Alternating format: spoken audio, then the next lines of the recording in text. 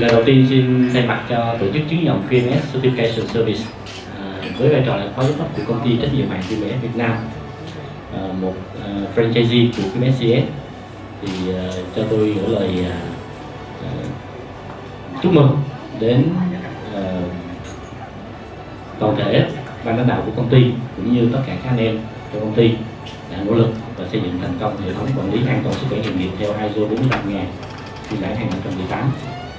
Ờ, như các anh chị đã biết là cái phiên bản ISO 45000 phiên bản 2018 nó tập trung vào vấn đề liên quan đến uh, an toàn sức khỏe nghề nghiệp một khi mà GP chúng ta đã xây dựng và vận hành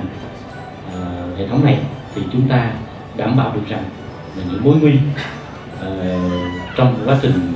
thi công công trình đã được nhận diện và chúng ta có những biện pháp kiểm soát làm cho vấn đề an toàn của uh,